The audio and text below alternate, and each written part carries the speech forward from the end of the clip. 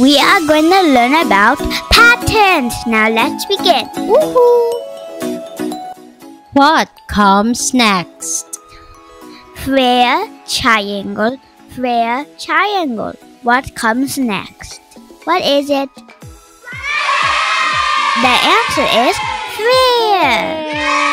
Woohoo! Let's go. What comes next? Circle, triangle, square, circle. What comes next? Woohoo! Let's see the answer in three, two, one.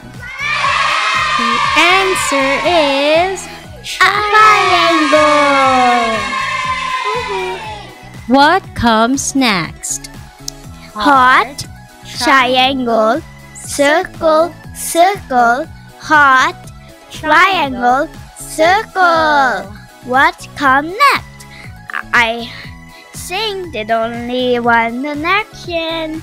Another. Three, two, one. Circle. What comes next? I'll give you a hint. It, it is very hard, but it's kind of easy. What is the answer? The answer is it is your feet.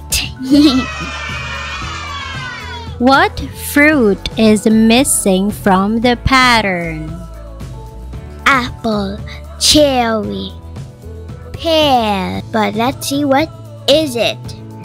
Five, four, three, two, one. It is an apple. Woohoo! What number comes next? Two, four, six. What is next?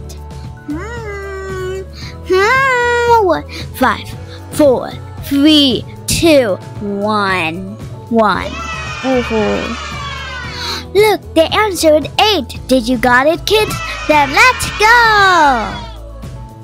What number is missing? Four, eight. I don't know. And then 16. What is the correct answer? I'll give you six seconds. Six, five, four, three, two, one. Look, the answer is 12.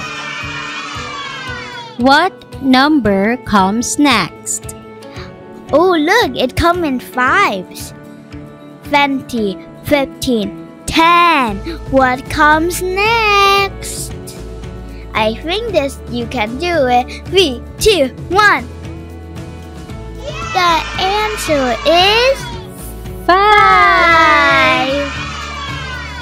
Great job, kids.